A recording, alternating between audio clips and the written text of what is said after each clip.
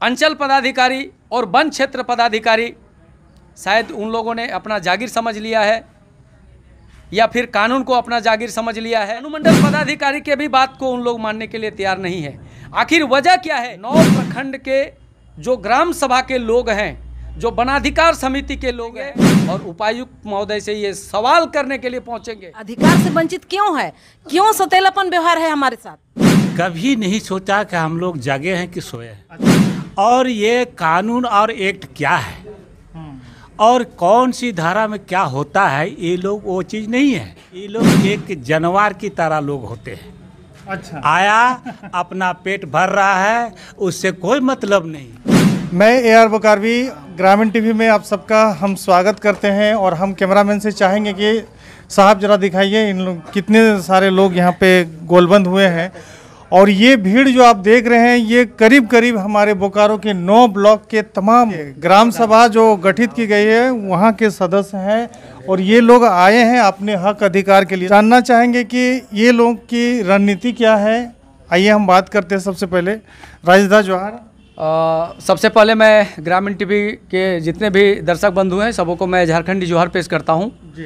सवाल है कि आज दिनांक तीन ग्यारह दो हज़ार बाईस को समय बारह बजे से बोकारो जिला के लगभग नौ प्रखंड के 130 ग्राम सभा के लोग, जो ग्राम सभा के नेतृत्वकारी लोग हैं।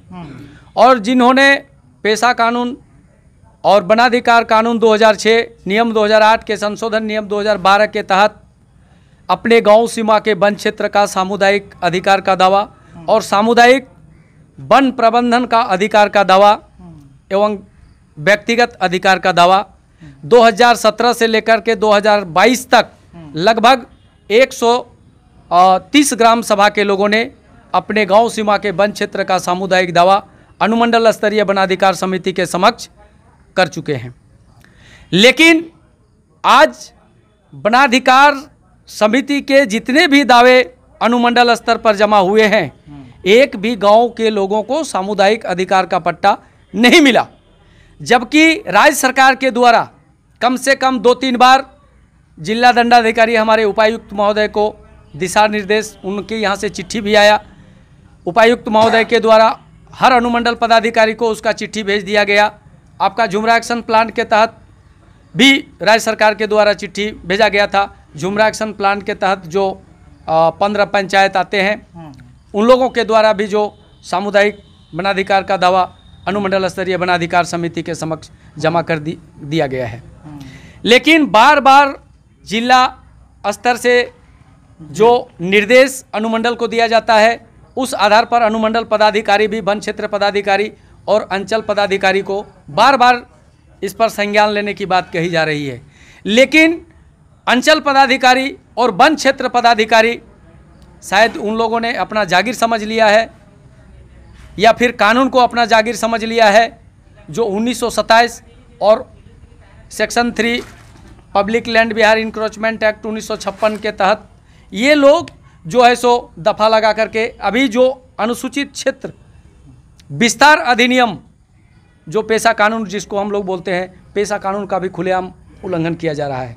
अभी जो वन क्षेत्र में आदिवासी लोग रह रहे हैं, मूलवासी लोग रह रहे हैं, उन लोगों को फर्जी केस करके ऑलरेडी एसडीओ साहब प्रमाण करते हैं कि धारा वनाधिकार कानून का, धारा चार का उपधारा पाँच के तहत तब तक वहाँ के आदिवासी मूलवासियों को बेदखल नहीं किया जाएगा, जब तक कि इसका संज्ञान का कार्यकलाप पूरा नहीं हो जाता है। जब तक कि उसको प्रमाण पत्र नहीं निर्गत किया जाता है, तब तक आप उसको वहाँ से बेदखल नहीं कर सकते हैं।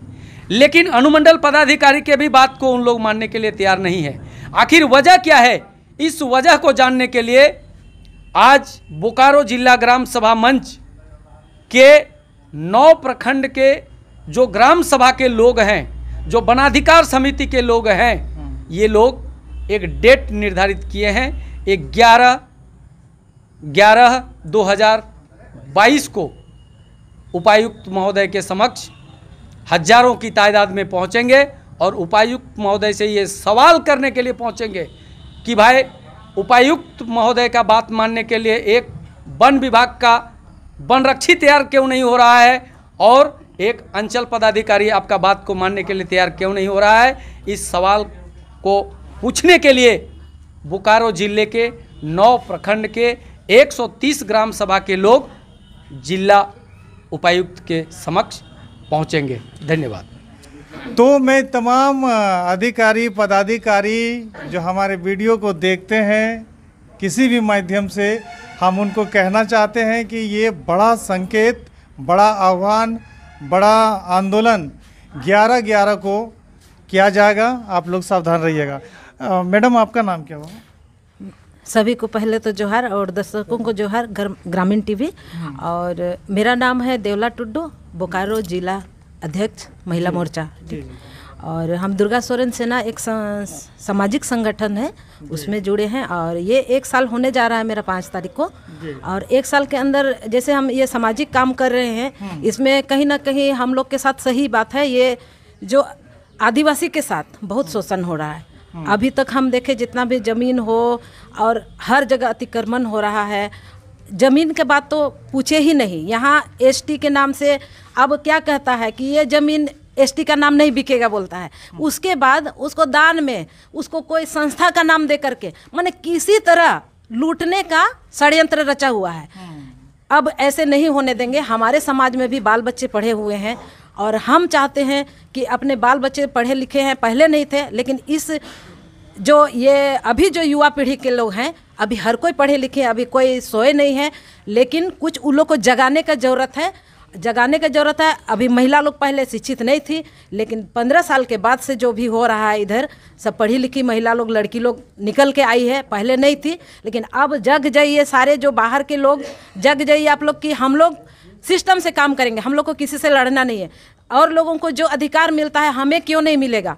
भारतवर्ष में जब 1947 से अब हमारा देश आज़ाद है तो फिर हमारे साथ ऐसे सोतेलापन क्यों? अभी जैसे बिरसादा ने मैडम मैडम बाकी लोगों को अधिकार मिलता नहीं है वो लोग तो लूट लेते हैं। अधिकार से वंचित तो आप लोग ना है। हाँ वही बात तो मैं बता रही हूँ आपको। अधिकार से वंचित क्यों है? क्यों सोतेलापन व्यवहार है हमारे साथ? ऐसे क्यों? जब एक माँ का बच्चा हम भारत का हम पूरा भारत का बोल रहे हैं। भारत देश का है। हर जगह का सबका अलग अलग कल्चर हो गया है। हर जगह का अपना नियम हो गया है। तो हमारे झारखंड में इस तरह से क्यों हो रहा है? ये लूट खसोट क्यों हो रहा है? हमारे साथ क्यों ऐसे सोतेलापन मतलब यहाँ के पदाधिकारी लोग में भी दिक्कत है। क्यों हम लोग को ऐसे कर रहे हैं? जब अब कहीं से आ करके वो लोग सारा अपना ये अपना काम कर ले रहे हैं। हम लोग का बच्चा लोग कुछ नहीं हो पा रहा है। हमारे यहाँ रोज़गार कुछ नहीं हो रहा है। तो इसमें कहीं ना कहीं हम लोग के साथ सोतेलापन ही हो रहा है। चलिए इसमें कहीं ना कहीं हम लोगों के साथ सोतेलापन का व्यवहार हो रहा है और बोकारो जिला ग्राम सभा के अध्यक्ष बाबूलाल मरांडी जी हैं। बाबूलाल जी बताइए कि कहीं ना कहीं आप लोग जो जोश दिखा रहे हैं लगता है कि बरसों से जो अधिकारी आप लोगों का अधिकार का हनन कर रहे थे उन लोगों की नींद उड़ेगी? देखिए सभी के उपस्थिति में हमारे करमिन टवी जी।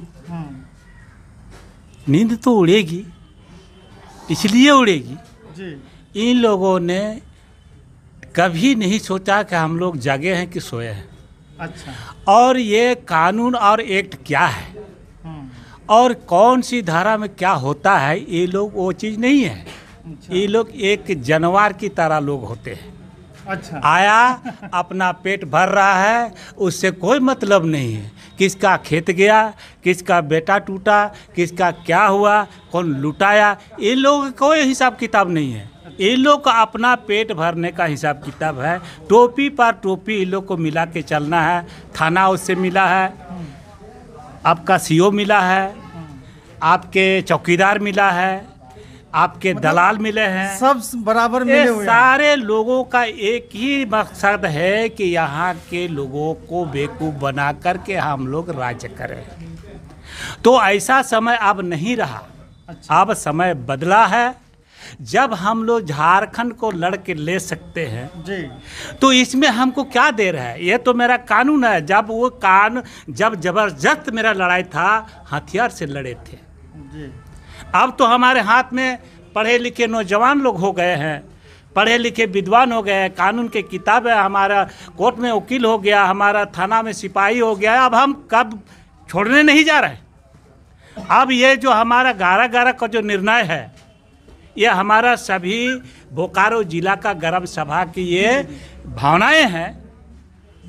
और हम लोग उस दिन जितने भी हमारे जान के लोग हैं जितने गर्म सभा के जो जनताएँ हैं हमारे उस दिन सारे लोग अपना तन मन के साथ उस दिन डीसी साहब को हम लोग पूछेंगे कि आपने यहाँ विकास के लिए आए हैं या अन्यथा विनाश के लिए आए? आप तो सुनते हैं कि डीसी साहब है।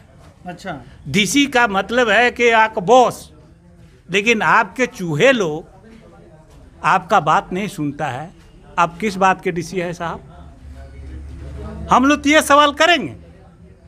और अगर आप डीसी हैं तो आपके नीचे के लोग को अभी तक सोया हुआ है, आपने चिट्ठी दिया, वो लोग ने का किया? अब पूछते क्यों नहीं हैं? अब हैं किस बात के डीसी?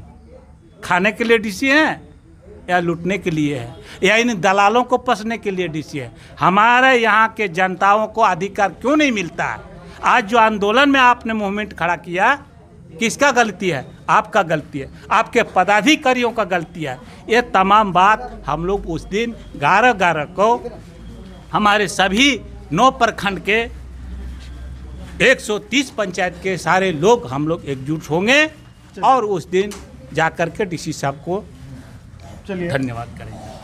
बहुत बड़ी बात है कि लोग अधिकार को समझ रहे हैं और लेने के लिए भी जागरूक नज़र आ रहे हैं, जिन्हें मरने के लिए भी तैयार हैं, क्योंकि कब तक इन्हें अधिकार से वंचित किया जाए और तमाम, ये जो भाई साहब को आप लोग देख रहे हैं लंबे लंबे दाढ़ी है, कितनी बारीकी से, कितने कम शब्दों में, सारी कमियाँ जो ऑफिसर की होती है, उन्हें लूटने का जो तरीका होता है, उन्हें रख दिया।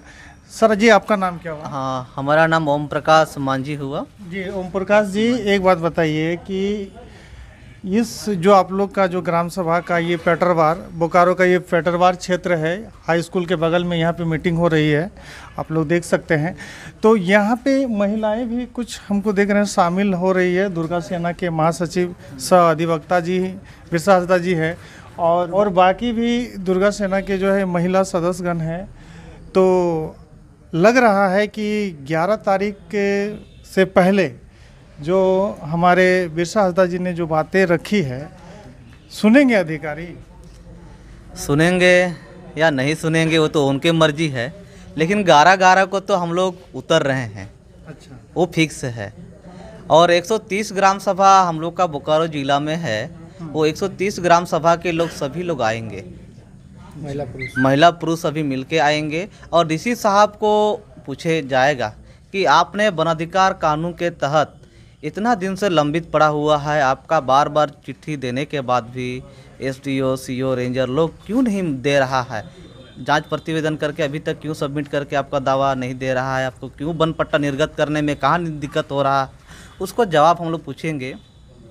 एक चीज़ मैं बताना चाहूँगा वन अधिकार कानून 2006 में जब बना इसके बाद से जिला स्तर ग्राम सभा मंच का हम लोग का जो बाबूलाल जी बताए कि डीसी साहब जो पूरा जिला का एक हेड होते हैं लेकिन इस वनाधिकार कानून में उनको जिम्मेवारी मुख्य रूप से है। वो मॉनिटरिंग कमेटी का एक अध्यक्ष भी हैं। इस पूरा जिला का वनाधिकार कानून को लागू करने का मॉनिटरिंग कमेटी का वो अध्यक्ष भी हैं। और जिला स्तरीय ग्राम जिला स्तरीय वनाधिकार कानून का ये अध्यक्ष भी हैं मॉनिटरिंग कमेटी का और अनुमंडल स्तर का अध्यक्षता में भी गलती हो रही है नहीं? गलती नहीं हो रही है वो लोग काम कर रहे हैं। और एसडीओ साहब भी है अनुमंडल स्तर का वनाधिकार समिति का अध्यक्ष हैं और जिला स्तर में डीसी साहब हैं। ये लोग क्या करते हैं प्रत्येक तीन महीना त्रिमासिक रिपोर्टिंग भी कर सकते हैं त्रिमासिक मीटिंग भी बोल सकते हैं उसको मॉनिटरिंग कमेटी का बैठक भी बोल सकते हैं। वे लोग 2006 से ये अभी 2022 का बात नहीं है। जी जी। 2006 से वे लोग बैठ रहे हैं और प्रत्येक तीन महीना में ये रिपोर्ट दे रहे हैं कि हमारे ज़िला में वन अधिकार कानून का कहाँ तक काम हुआ कहाँ तक कितना दावा हुआ कितना मिला नहीं मिला ये त्रिमासिक रिपोर्टिंग वो लोग केंद्र को भी देते आ रहे हैं। अभी हम लोग का राज्य का मुख्य सचिव जो है उनको ये लोग दे रहे हैं। अब मुख्य सचिव जी केंद्र भारत सरकार को जो भारत सरकार का मुख्य सचिव है उनको भेजते हैं। ये टर्म देखा जाए तो प्रत्येक तीन महीना तीन महीना में जा रहा है रिपोर्टिंग तो कहा जाए 2006 से अभी तक कितना साल हुआ? लगभग सोलह साल। मान सकते हैं सोलह साल। तो सोलह साल में कितना तीन महीना गुजर गया?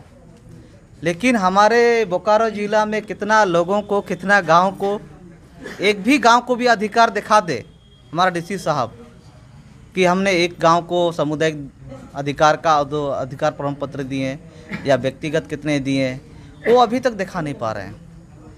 दिखा नहीं पा रहे हैं। कहाँ दिखा पा रहे हैं? अगर होता तो हम लोग आज नहीं होते। अगर अगर देते और दिखा भी देते तो हम लोग यहाँ नहीं रहते। अभी देखिएगा पिछला बार सरेकेला खारसवा में तीन हज़ार एकड़ तक का वन अधिकार प्रमाण पत्र मिला सरेकेला खारसवा में तीन हज़ार एकड़ तक का वन अधिकार प्रमाण पत्र मिला। अच्छा। एक दो एकड़ का नहीं लेकिन बोकारो जिला में एक भी सामुदायिक अधिकार प्रमाण पत्र नहीं दिया गया है। 2006 से अभी तक लेकिन मॉनिटरिंग कमेटी का बैठक बैठ रहा है लेकिन उन लोग खाली कॉलम पूरा कर रहे हैं कागज़ी में। लेकिन गाँव के लोगों को यहाँ के आदिवासी को अनदेखा करके रख रहा है। चलिए, गाँव के लोगों को, यहाँ के आदिवासियों को अनदेखा करके रखा है और ये पेटरवार का क्षेत्र है, बगल में स्कूल है, हाई स्कूल है, सरकारी। बोकारो जिला का पेटरवार क्षेत्र से मैं, ए आर बोकारवी, ग्रामीण टीवी से, जय झारखंड।